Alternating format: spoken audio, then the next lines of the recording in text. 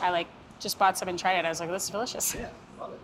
Hi, I'm Stephanie Izard. You may know me from my restaurant, Girl and the Goat. Welcome to making the most of your meals. Today I'm going to show you how to make a really fun version of grilled beef and broccoli. Lots of layers of flavor going on, some pickles, really accentuating the beef and celebrating all of the amazing flavor. Then we're going to take those leftovers, chop them up, put them inside of a fresh made steam bun. So quick and simple and delicious. Great way to use up your leftovers and your family's going to love it. My mom used to make us have leftovers nights on like Thursday nights, and I hated leftovers nights because it was just like go take the same meal over again. Leftovers don't have to be boring. Instead of just taking the same meal and giving it to your family again, recreate it, turn it into something new, truly amazing. And what better way to do it than with beef? We are gonna make beef and broccoli that's very budget friendly. We're using a chuck steak, which often you think of chuck as just being ground for burgers, super delicious. By taking the steak, you get to celebrate all of the marbling that's throughout the chuck steak, get it caramelized for our beef and broccoli, and then to top that off, instead of just eating the leftovers, we're gonna chop it all up and turn it into a filling for some amazing steam buns, make it into something even more fun. What we're gonna do is slice it pretty thin when we're grilling it. So what I've done with this is frozen it for about 15 minutes, just long enough that it gets a firm texture, but it's gonna make it a little bit easier for us to slice it about a quarter inch thick. I'm gonna go ahead and put this in a bowl so I can get it all marinated. I actually brought one of my own marinades. This little goat went to Hong Kong.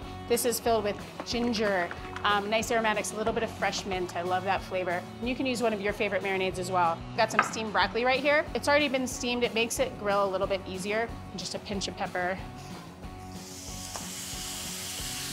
Yeah. Now we're talking. But we're gonna make a mayonnaise-based sauce. I think that mayonnaise should just be one of the major food groups. We're gonna take our marinade and add it to some mayonnaise.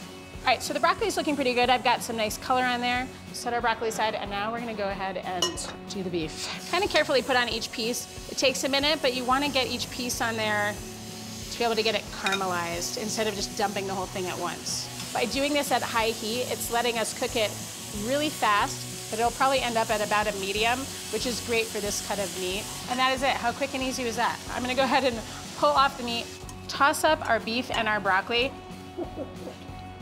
Oh, it's so good. Good job. You can't mess it up. I think that's what makes it so great. It's like melt in my mouth delicious. But what I'm gonna do right now is show you how to make a second dish out of all of these ingredients, taking little bits, chopping them up, mixing them together, and putting them inside of fresh steam buns. Okay, now it's time to make some steam buns. It's super soft and tender, and on the inside, there's different types of meat filling. And what we're gonna do is take the leftovers from our beef and broccoli, chop it all up, and make a delicious filling that'll be right inside of the steam bun when you rip it open. So delicious. So first thing, we're gonna make our dough. So we're gonna start off with a little bit of milk and cream, and I'm just putting it in a pot to make it very lightly warmed up almost to um, a room temperature. Let me just give this a little, add in our egg, three parts of bread flour to one part of all-purpose flour. Um, and then we have some active dry yeast, just enough salt. Oh, my sugar, so important. Gonna put my dough hook on and we're gonna let this go for about 15 minutes on about number five if you're using your mixer. So I'm gonna actually let this proof in my Instant Pot. It's just a nice, easy way to control temperature. So we're gonna let it go for about an hour. This looks beautiful. So you can see it's definitely doubled in size. We're gonna go ahead and cut this into 16 pieces. Kind of do a little inverting on itself. Turn that folded side down, and then you're just gonna roll it like this. So They don't need to be perfect. Cover them in plastic and let them kind of hang out and relax. So I chopped up the beef and broccoli, I chopped up a little bit of the pickles, and I've got some of the mayonnaise left over. I'm gonna add in some of the pickles for those pickle notes. And what's nice is because we did this sort of secondary sauce with the mayonnaise, we're gonna put just enough on here to be like a really light binder. And then I'm just gonna add in a little bit of our crunchy topping. Okay, so I have let these rest for about 10 minutes until they feel nice and fluffy and ready to go. It makes them super easy to work with. I'm gonna take my bun and flip it over and smush around the outside. Um, but my general rule of thumb, try to get as much in there as you can and still get it sealed. Um, but you just don't want your filling to come out. Then you're gonna take the sides and kind of work them around the filling.